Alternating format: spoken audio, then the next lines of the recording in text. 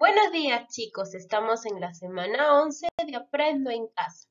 Yo soy Miss Carol. Hoy día es lunes 21 de junio y vamos a trabajar el área de comunicación. Recuerda, utiliza agua y jabón y lávate muy bien las manos porque de esta manera evitamos el contagio de la COVID-19. Además, recuerda el uso de dos mascarillas y nuestro protector facial. Estamos en 1, 2, 3.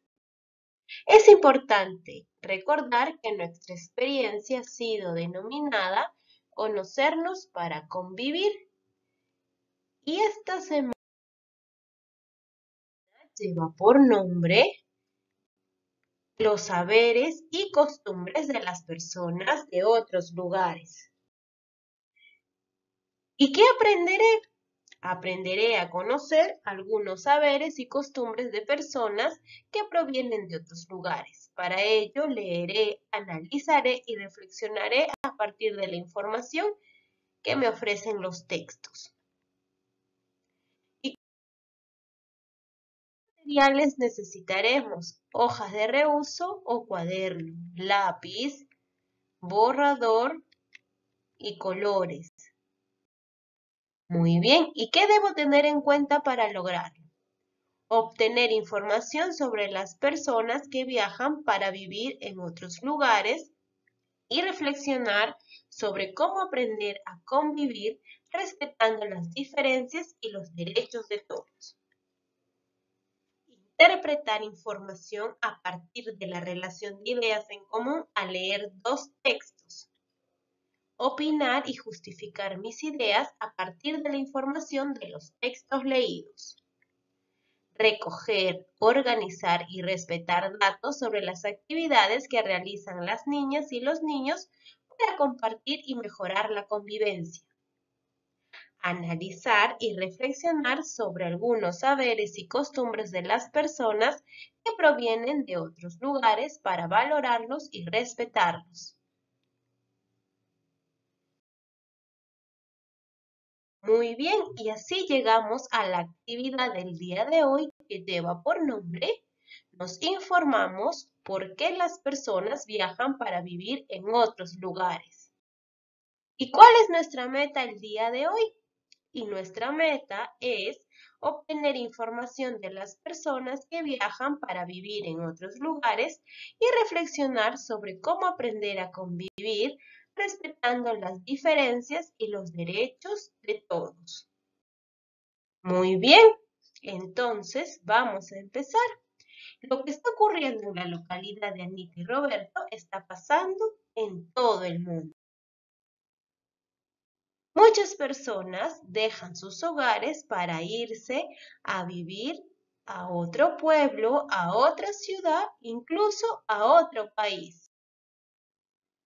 A ese proceso de dejar tu lugar de origen para irte a vivir a otro lugar se le llama migración. Ahora, ¿sabes si en tu familia alguien ha migrado? Vamos a realizar la siguiente actividad y vamos a averiguarlo. Además, podrás conocer dos experiencias de personas que emigraron. Ahora sí, nos informamos.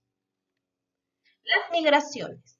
Por diversos motivos, las personas dejamos nuestro lugar de origen para vivir en otro lugar. A eso llamamos migración. Seguramente conocemos personas que vienen de otros lugares o nosotros mismos hemos experimentado la experiencia de migrar. Muchas personas migran del campo a la ciudad con el fin de obtener mejores oportunidades. Por ejemplo, un mejor trabajo o una mejor educación para sus hijas e hijos. También hay muchas personas que viajan a otro país para trabajar. Actividad. Entrevista a una persona adulta y a una niña o niño. Llena las siguientes fichas. Vamos a empezar por la persona adulta y le vas a preguntar su nombre, edad, cuál es el lugar de nacimiento, dónde nació su mamá, dónde nació su papá, alguien en tu familia migró, ¿por qué lo hizo? ¿Hacia dónde? Muy bien, entonces estas son las preguntas que le vamos a hacer a la persona adulta. A continuación, vamos a entrevistar al niño y le haremos las siguientes preguntas. Nombre, edad, cuál es tu lugar de nacimiento, dónde nació tu mamá, dónde nació tu papá. ¿Alguien en tu familia emigró? ¿Por qué lo hizo? ¿Hacia dónde? Entonces, chicos, en esta primera parte tenemos que hacerle una entrevista a una persona adulta y a un niño y una niña, teniendo de referencias las preguntas que ya conocemos. Ahora, responde de manera escrita o graba un video o un audio. ¿Qué respuesta te llamó la atención? ¿Por qué? De tus dos entrevistados, ¿cuál respuesta llamó tu atención? Tal vez cuando escuchaste las respuestas del adulto y comentó que su familia migraron hacia la capital. Tus entrevistados conocen sobre el lugar de origen de su familia porque, chicos, sus entrevistados lo conocen o no conocen. Quizás en algunos casos los papás nunca comentaron de dónde eran, es decir, nunca dijeron cuál era su lugar de procedencia. Ahora, ¿por qué será importante conocer los orígenes de mamá, papá y de todos nuestros familiares? ¿Por qué creen chicos que esto es importante? ¿Qué creen? Claro, es importante para poder entender las costumbres que hay dentro de nuestra familia y también los hábitos que compartimos. Ahora, ¿qué costumbres de su lugar de origen tienen tus familiares? Lee las historias y reflexiona. Eli es un estudiante de tercer grado que llegó a Juliaca el año pasado. Un día su profesora observó que sus compañeras y compañeros la excluían de sus juegos porque ella se vestía diferente. Entonces la profesora conversó con toda la clase y les recordó que debemos respetar a las personas como son, valorar sus orígenes y celebrar la diversidad. Fue una buena oportunidad para aprender a convivir. En el siguiente texto, Tito migró a Lima con su familia desde su pueblo en Loreto, la capital.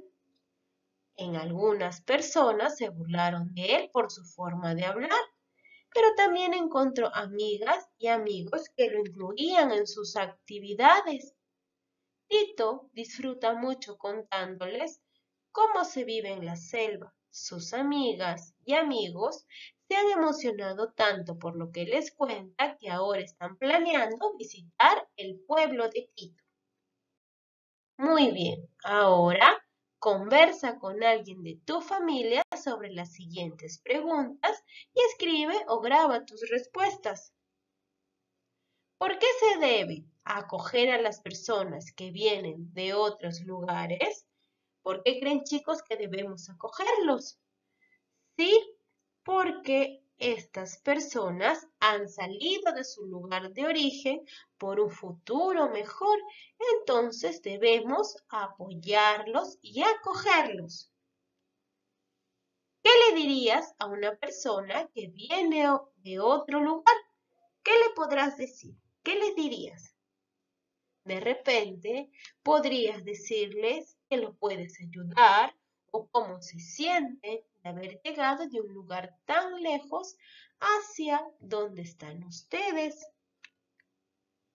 ¿Qué acciones podrías hacer para valorar la diversidad en tu entorno? ¿Qué acciones podrían hacer? Sí, lo que ya hemos visto, practicando el respeto mutuo, valorando los orígenes de cada persona y también revalorando las costumbres de ellas. Ahora, luego de leer las dos historias, completa la siguiente tabla en una hoja de reuso o en tu cuaderno. Y empezamos. ¿Qué opinas del caso de Eli? ¿Qué opinan, chicos? Yo pondré el siguiente ejemplo. Opino que Eli no debió ser discriminada por su vestimenta o su habla, ya que todos los niños tienen los mismos derechos. ¿Cómo hubieras actuado de haber llegado Eli a tu aula? ¿Qué hubieran hecho chicos si Eli hubiera llegado a su salón? Por ejemplo, yo colocaré la hubiera recibido con cariño, acogiéndola y jugando con ella. Además, pidiéndole que me cuente cómo es el lugar de donde ella viene. Muy bien, aquí yo he completado el caso de Eli. Ahora tú comenta y completa el caso de Tito. Muy bien, recordando lo que has aprendido sobre los derechos, vamos a responder. ¿Por qué se debe respetar y acoger a las personas que vienen de otros lugares? Sí, porque han salido de su lugar de origen. ¿Qué te gustaría saber sobre las costumbres de las personas que provienen de otros lugares? ¿Por qué?